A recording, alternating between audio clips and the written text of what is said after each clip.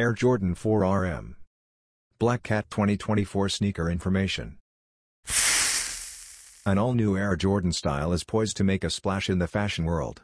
Jordan brand is about to release the brand new Air Jordan 4 RM in an array of colorways, after Nigel Sylvester's July 20th release of his Grandma's Driveway collaboration, which sets the bar high.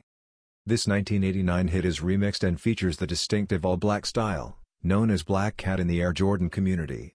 The sole point of contrast, a white Nike Air logo on the heel, is visible on an entirely black outfit. None of the Air Jordan 4 RM colorways are related to the original Air Jordan colorway history, which is an interesting observation.